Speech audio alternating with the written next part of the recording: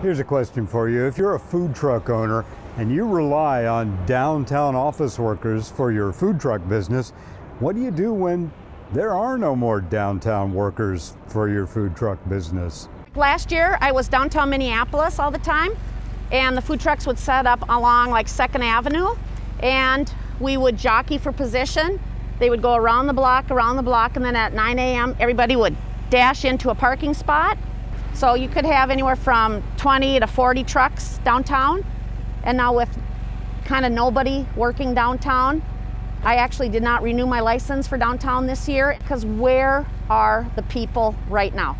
They aren't working where they usually work.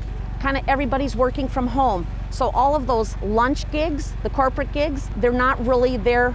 The graduations, they're not really happening. The parties, you know, we can't have all the gatherings. A lot of that has been canceled. So we're trying to get creative. Last year I did a car show here in the parking lot of Fleet Farm. I live in Brooklyn Park, lived here for 30 years, and I just reached out to my contact here and just asked, what do you think about me coming here? And which beverage can I grab for you? And the gal thought with the garden center being open, she said, come on out for three weekends. We've had phenomenal success here. So the taste of summer comes with a Diet Coke, and we've just been doing very, very well here at Fleet Farm. Tell me about some of the yummy food people might find if they come down to your truck on any given day. So we really are known as kind of a burger and grilled sandwich truck.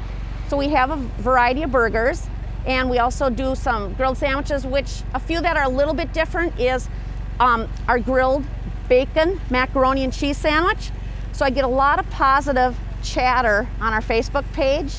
It's not a sandwich, but it's kind of off of a pulled pork with a coleslaw. It's called our Taste of Summer.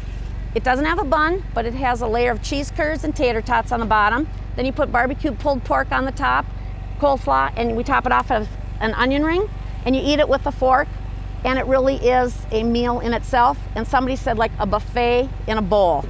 Well, thank you, Lisa. I appreciate it.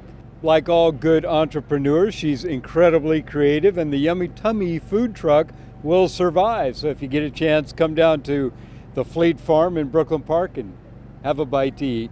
In Brooklyn Park, Neil Persley, CCX News. Find more local news stories at ccxmedia.org and follow us on social media.